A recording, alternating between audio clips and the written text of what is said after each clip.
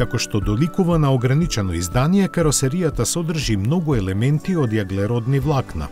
На тој список, осем ретровизорите и дизајнерските акценти ставени се перфорираната хауба и предниот браник. Караванот има масивен спойлер, а шините на покривот се одстранети за поспортска силуета. Во внатрешноста доминира црната кожа, алкантара и црвениот тапацир. Вградени се нови спортски седишта со подпирачи за грбот карбонски влакна, а на централната конзола има сериска табличка. И токму оваа плоча ќе ја дефинира вредноста на овој модел за колекционерите. Audi RS6 Avant GT ќе се произведе само во 660 примероци. Audi RS6 Avant GT го има добро познатиот V8 TSI со 4 литарска работна зафатнина, кој дише со помош на два турбополначи.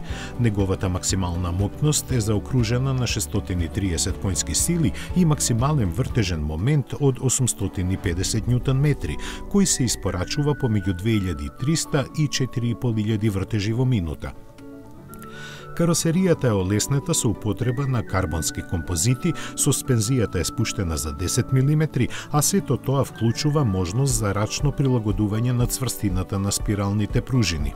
Вградени се и подцврсти попречни стабилизатори, подцврсти електронски контролирани амортизери, а адаптации претрпе и централниот диференцијал за да има поголема испорака на моќност до задната оска. Секако, перформансите се очекувани. Audi RS6 Avant GT до стотка забрзува за 3,3 секунди, од место сказалката се искачува до 200 за 11,5 секунди, а максималната брзина е 303 км на час.